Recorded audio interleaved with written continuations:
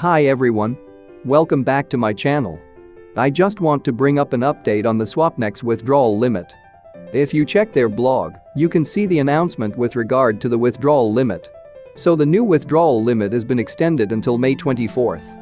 Citing an unstable market situation, therefore, they are forced to prolong the restrictions on the withdrawal of funds. The withdrawal limit is $100. Each client can only withdraw once per day. If you check their Telegram group, you can find a similar announcement. They have planned to open up the Telegram group again tomorrow. Please go there should you have any questions. I hope the situation is resolved quickly. Anyway, thank you for watching. I will see you later.